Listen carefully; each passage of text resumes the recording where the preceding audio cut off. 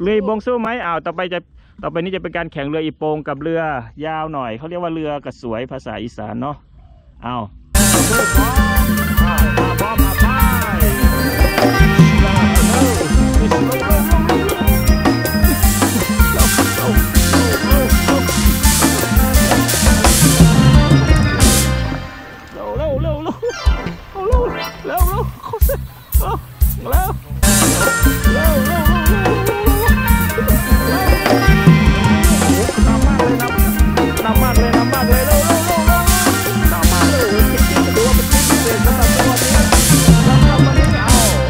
วันนี้หลังจากจบภารกิจของเด็ก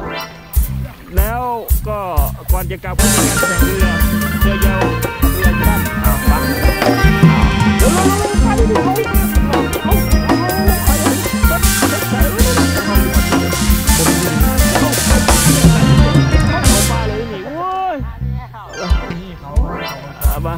เขามาดิเราเขามาสิพี่เขาไปพุ่น